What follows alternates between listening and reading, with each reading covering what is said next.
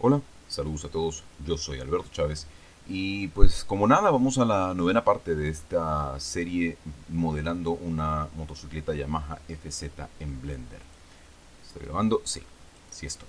Bien, el día de hoy pues bueno, creo que debo aprender a dejar de decir eh, cuánto pretendo avanzar para no verme después en vergüenzas. Eh, pero pues bueno, vamos a llegar hasta donde pueda. Acá tengo ya la imagen, eh,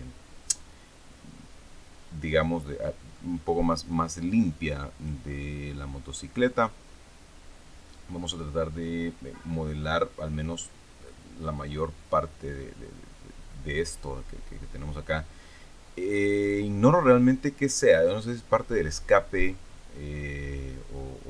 que tengo que ver un poco más a detalle después. Eh, si es un solo tubo, imagino, imagino, al menos según las, pocas imágenes de referencia que he tenido, eh, que es una eh, que es un, tubo que sale de la parte central de acá, o, más bien de acá, pues, y, de la parte de abajo del plástico este, y llega pues más o menos hasta casi tocar la llanta. Así que, pues nada, empecemos no le demos más vueltas al asunto. Como siempre vamos a ir añadiendo eh, piezas separadas y pues nada, obviamente vamos a empezar con nuestro siempre buen amigo el cilindro. Así que RX90, no, no sea tontito, era RY90. RY90, por Dios. Eh, y pues nada, nos aseguramos nada más que esté en la parte central, que aparentemente no está. Ah, sí, por eso, porque había movido yo mi, centro. Así que, de nuevo, cilindro RY90. Ahora sí debería estar en el centro. Vamos a ver. Vamos a comparar con el cilindrito que ya tenemos ahí. Y efectivamente, pues al menos así a ojo de buen cubero, parece que está en el centro. Bien, vamos a irnos a la vista de frente con el número 1 de nuestra de nuestro teclado numérico. Y control R para nuestro edge loop. Vamos a ir a la vista de nodos y ahí. Eh, A para des, deseleccionar. B para un box select. X para borrar los vértices. Y ahora como siempre vamos a añadir nuestro mirror. Y ahí está. Muy bien esta es la parte eh, primera, digamos, así que vamos de nuevo a la vista de, perfil. Voy a seleccionarlo todo, de hecho. Y sabe que me acabo de dar cuenta de algo. En realidad no era ni lejanamente necesario eh, hacer el, Para comenzar, que nos, que nos esté viendo, digamos, hacia nosotros en, este perfil. Eh, y tampoco tenía que haberlo dividido porque es un solo tubo. Así que, pues nada, no sin, resentimientos, sin remordimientos, orgullo ni vanidad, como dice nuestro querido Miguel Ríos. Vamos a añadir de nuevo cilindro y ahora sí, a partir de este cilindro es que vamos a empezar a, em, a modelar. ¿ya? Entonces, vamos a venir acá, vamos a hacerlo más o menos del grosor que debe tener, al menos al iniciar vamos a rotar un poco. Y vamos a hacer una letra G lo vamos a traer pues, más o menos a donde comienza. Y vamos a ir la, al modo de edición con tab de seleccionar B para hacer un box select otro B. Solo para asegurarme de que todo esté seleccionado. Sí, efectivamente. Y pues nada, empezamos a extrusionar así de sencillo eh, aquí tiene un pequeño eh, como un pequeño cuello de botella así que solo que voy a ingresar un edge loop aquí porque parece que esa parte se mantiene tal cual. Deselecciono. Ahora sí. Ahí. S para escalar. E de nuevo para extrusionar. Me vengo para acá. S para escalar de nuevo porque pues es un cuello de botella y sigue su su curso normal. Ah, vamos a acá. Voy a rotar un poco, solo un poco. Extrusiono de nuevo. Vuelvo a rotar. Ah, vea lo que sucedió. Eh, no me di cuenta y estaba seleccionado este nodo de ahí. Así que vamos con letra C a deseleccionar. Eh, aquí teníamos el cuello de botella que decíamos. Extrusionamos, escalamos, tal vez un poco menos, y extrusionamos de nuevo más o menos por aquí. Ahora sí, empezamos a... ¿Pero qué sucede acá? Sabe que lo más lógico, de hecho, era hacer eso, deseleccionar. Porque pues no había ninguna seguridad de que eh, estuviera todo deseleccionado. Así que eh, mis disculpas. Vamos a hacer de nuevo la extrusión, el escalado. Después nos ocupamos de ponerlo donde, donde se debe, ¿de acuerdo? No se preocupe mucho por, porque no esté quedando exactamente donde se debe. Siempre se pueden hacer correcciones de último minuto, ¿sí? Así que no, no, se preocupe, no, no quiero que le vaya a dar un síncope cardíaco, ¿de acuerdo? Y seguimos. Eh, ups, fue demasiado. Y creería que ahora sí. Sí, correcto nos quedamos acá, extrusionamos de nuevo y ahora si se da cuenta hay una eh, una subida acá, ¿sí? esta parte de acá. Sin embargo, la parte de abajo se mantiene tal cual, así que pues nada, que nos corresponde hacer? Pues para comenzar, deseleccionar y seleccionar pues nada más algunas de las caras que nos interesa que se, eh, que se deformen. ¿sí? Creería que es más o menos ahí. Y esto lo traigo hacia arriba. Ahora vuelvo a seleccionar lo que resta. Claro está que si me lo permitiese sería fantástico. Vamos, vamos, ¿qué te pasa? ¿Qué te pasa? Últimamente, eh, creo que ya se lo había mencionado, me está eh, me está saliendo rezongona cuando hago el, em, control shift eh, clic izquierdo clic perdón clic derecho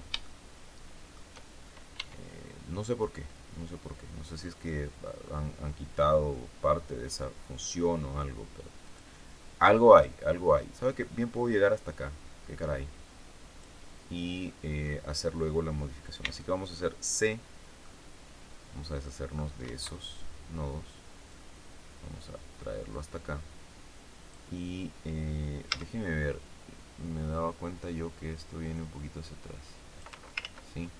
así que em, vamos a hacer O para la edición proporcional para que se afecte buena parte de nuestro mesh. Y ahí. Ya. Eh, nos salimos del modo de edición y lo que les decía, eh, de repente puede resultar que no esté, ups, le decía, no esté del todo posicionado como se debe, por, eh, qué sé yo, por, eh, digamos los caprichos de la, de la, de la figura, ¿qué estoy haciendo, por Dios? Los caprichos de la figura, le decía yo. Así que, pues, no hay más que mover. Solo que sin la edición proporcional. Con G, la letra G, recuerde, G viene de grab, o sea, agarrar. Eso es prácticamente lo que significa grab. Vamos a poner aquí abajo. ¿sí? Y pues que ahí tenemos prácticamente nuestra, nuestra figura. Bien, eh, por supuesto que le vamos a dar un material eh, que tendría que ser bastante similar a este. Así que uno de los eh, truquitos, si usted no se recuerda el nombre del material, que por cierto esto tendría yo que cambiarle el nombre ipso facto y ponerle digamos motor negro solo para, tener la, idea. Así que, pero digamos que usted no se recuerda, ¿sí? porque tendría por supuesto que seleccionar todos estos de acá. Lo que podría hacer es, primero, eh, mantener seleccionado el objeto que va a ser influenciado y luego seleccionar el objeto influenciador, ¿sí? que en este caso sería el motor, y hacer control L. Le va a salir un menú, seleccione ustedes materiales y si nos vamos a render, vea usted ya tiene pues la, el material respectivo. ¿De acuerdo? Nada más un pequeño truquito le quería eh, comentar el día de hoy. Vamos a, venir un poco para acá. Porque si se da cuenta, entre esta eh, figurita que tenemos acá y esta parte del motor, pues hay una especie de tubo, ¿cierto? Hay un montón. De hecho, está este que está acá, está este que está acá. Eh, pero este, de momento, pues es el que vamos a, a construir. Así que, pues nada, otro cilindro. Afortunadamente todo esto es exclusivamente... Ups, y darle con poner las cosas donde no se debe, por Dios. Eh, Shift A, cilindro. Y pues nada, si nos acercamos un poquitito, la verdad es que acá no se puede ver muy bien, pero es este cilindro de acá. ¿sí? Entonces, eh, pues, para que el tamaño es obscenamente grande en comparación a lo que debe de ser, eh, quizá un poquito más, más o menos por ahí. Y ahora la rotación respectiva. Que tendría que ir más o menos por acá. G de nuevo para hacer el grab, el agarrado. Escalado de nuevo, porque es un poquito más grande. ¿sí? Más o menos por ahí, si usted se da cuenta. Tiene, tiene cierta lógica, ¿no? Y ahí. Vamos a hacer que esto pues, se incruste en, en, en esta parte de acá. A ver, B para el box select y eh, vamos a hacer un wrap más o menos hasta por aquí. Ahora vamos a hacer una extrusión muy breve. Vamos a hacer un escalado bastante más violento extrusionado de nuevo y hacia abajo. Ya eh, es siempre del mismo color así que pues nada influenciado, influenciador, control L, materiales y voilà. Así de sencillo. Em, de repente no le gusta, por ejemplo, cómo, cómo, eh, cómo se ve esta cuestión. Eh, porque pues que se ve muy, muy como no debería de ser, pues nada, pues agarre, suba. Porque si usted se ha dado cuenta, pues no estaba precisamente recto. No hay ningún problema. Vamos, no, no, es, no es nada del otro mundo. ¿De acuerdo? Eh, de nuevo a la vista de perfil. Y vamos a hacer este cilindro blanco. Este sería un material único en su especie. Si usted se da cuenta no hay otra parte blanca en los alrededores así que pues nada hagamos el cilindrito blanco no hay ningún problema. Me aseguro Shift C solo por prevenir futuros desastres. Y estando ahí ahora si se da cuenta este cilindro está prácticamente vertical ¿sí? así que solamente lo subimos Ojo, dije prácticamente. ¿Sí? Y vamos a la vista del hambre con Z, que está más o menos por acá. Ahora, si usted se da cuenta, hay otro par de subcilindros, digamos. Entonces, vamos a ir a nuestra... Vamos a salirnos de la vista. ¿Sí? Y... Eh, vamos a las caras esta cara y vamos a hacer un ES sabe que de hecho debería de haberlo hecho en las dos caras porque prácticamente son del mismo tamaño así que pues nada. Epa, epa, epa, epa. ¿dónde estás? es este de acá si no me equivoco. Sí, sí, sí, sí, correcto, correcto. Entonces ahora hacemos un ES le decía yo no, no, no, no, no, no. ¿Por qué te vas en el eje Z? En realidad no, no, no afecta tanto, ¿sabe? Viéndolo bien. Así que, pues nada. Eh, eh, Z. Eh, Z. Ahí. Ah, pero no me lo va, no me va a permitir. Así que simplemente... Ups. Shift Z. Si no, no funciona la cuestión. Y ahora me acerco solamente para tomar la cara que me interesa. ¿Ya? Que se ahí. Ahí estamos. Y E hasta arriba. Eh, si ve, pues hay otra pequeña pieza acá. Así que, pues, de momento no importa que lo dejemos eh, colgando en el aire, claro. y esta, vamos a sacarla un poquitito más. solo un poquito porque si usted se da cuenta pues también hay otro tubo eh, negro saliendo de ahí. Así que pues este tubito de acá ya que va precisamente incrustado en este en este cilindro eh, adicional que, hicimos ahora. Salimos de la vista del hambre salimos de la vista de, objeto de, de edición del modo de edición perdón y vamos a hacer un new le vamos a dar un material nuevo. Ahora, si usted se da cuenta, este blanco no es del todo opaco, sino que tiene cierto deje de translucidez. Entonces, podemos hacer dos cosas. Podemos hacer un mix shader o podemos directamente decirle que es un objeto... ¿Dónde estás? Un objeto translúcido. ¿ya? Entonces, cuando vayamos a la vista de renderizado, me voy a alejar un poquitito. No se va a ver del todo bien porque es una pieza pequeña y de aquí a que pues, se vea con detalles es como que uh, se va, nos morimos, ¿no? Entonces, em, sin embargo, sin embargo, no se ve blanco del todo. Tiene lógica, por supuesto, porque es un, eh, eh, un objeto translúcido, 100% translúcido. Así que, pues nada, hagamos un objeto mezclado, ¿le parece? Shader, Mix Shader.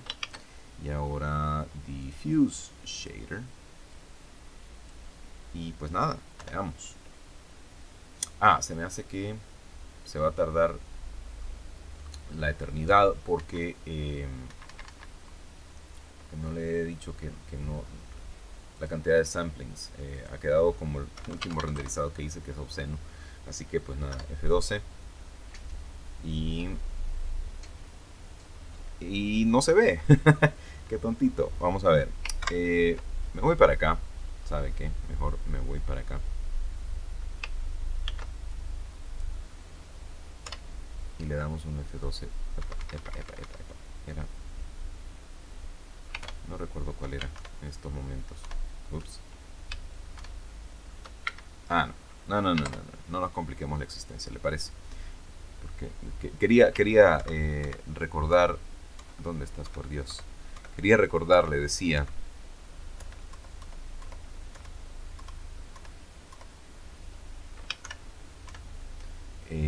cuál era el, el, para, para, hacer un, un, renderizado de un área muy específica, pero ah, no, no, no, no nos compliquemos porque no, de, momento no lo tengo así como, como que, en, la, mente. Así que pues nada, no, tampoco no, no nos compliquemos la existencia. Y ahora, pues nada, vamos a añadir eh, este tubito que está acá.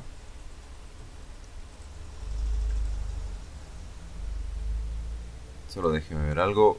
Sí. Eh, espero, sinceramente, que eh, ese ruidito de ese automóvil que pasó no, no lo ha escuchado tanto como yo creo que lo, que lo va a escuchar. En serio, si es así, pues mis disculpas. Eh, pero bueno, ah, voy a hacer un smooth y que por último, solo para ver este, este animalillo, traigo la cámara para acá, me alejo un poquitito, le damos a P12, ¿le parece? Vea pues y ahora la cosa cambia un poquito. Sin embargo, sin embargo, quizá podríamos de repente, para acá, ahí, eh, podríamos, vamos, vamos, vamos, tú puedes, tú puedes, tú puedes, renderízate, renderízate, ahí, ahí, ahí estás, ahí estás. Entonces, em, podríamos tal vez darle menos translúcido y más diffuse.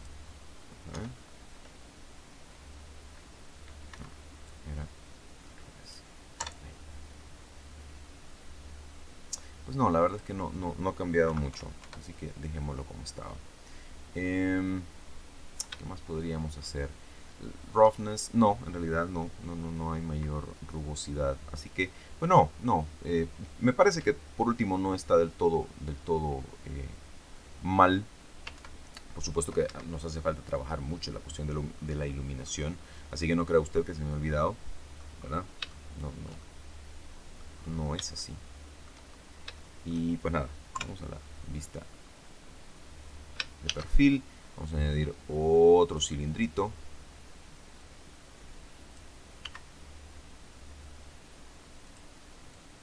Vamos a traerlo por acá. Vamos a hacerlo, vamos a escalarlo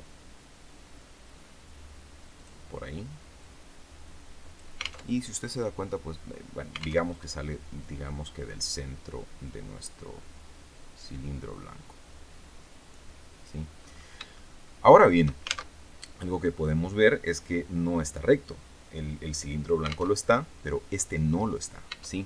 Así que vamos a deseleccionar, vamos a ir a la vista de nodos y vamos a hacer B, para hacer un box select y em, vamos a traerlo hacia acá sobre el eje Y, hacia abajo, más o menos por ahí.